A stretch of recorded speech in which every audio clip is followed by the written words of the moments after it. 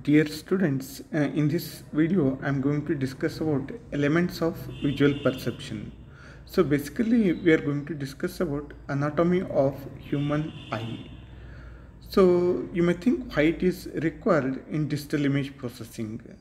Students, once uh, we are able to understand how the human eye works, that concept can be used for better representation of the image. Hence, we are going to study this particular topic in this uh, video. So, if you look at uh, the anatomy of the eye, so basically it has uh, oval shape.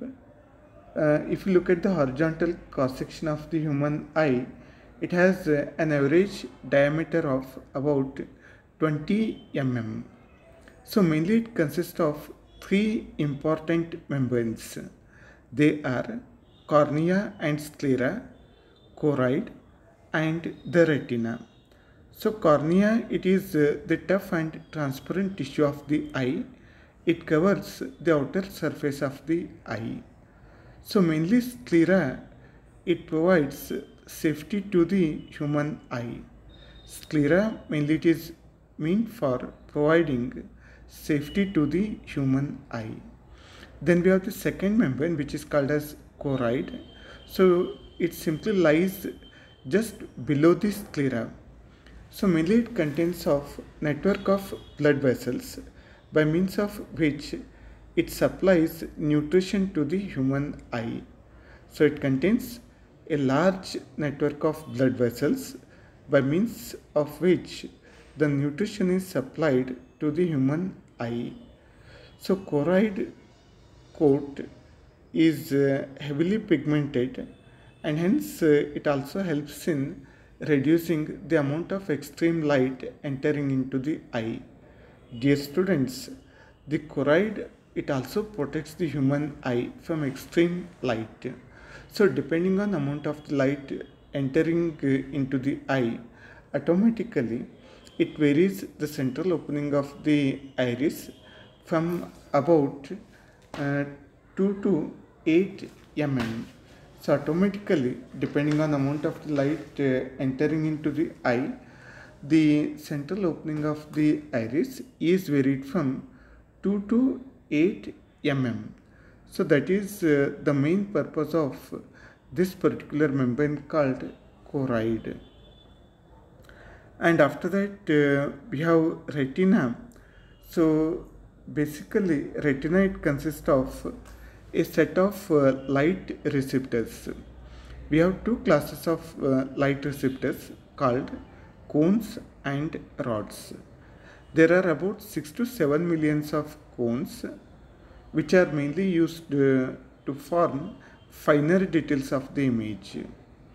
They are very highly sensitive for color and brightness. Students, please uh, remember cones uh, they are mainly used for identification of the color and also they are going to form uh, the finer details of the image. The very minute details of the image uh, is uh, formed by means of cones because these cones they are connected to the individual nerves. Cone vision is also called as phototopic are bright light vision. Remember, there exist about 6 to 7 million of cones uh, which are uh, highly sensitive to the color and brightness. They are going to form finer details of the image because they are connected to the individual nerves. Remember, cone vision is also called as uh, phototopic or bright light vision. Then we have rods. So we have about 75 to 150 million of rods. And uh, these rods, they are responsible for forming the overall view of the image. It is not possible to obtain finer details of the image by means of rods because they are connected to the single nerve. They are uh, less sensitive to the light and brightness. Rod's vision is also called as scotopic or dim light vision. Remember rods they are going to form overall view of the image not provide the finer details of the image. Then we have retina.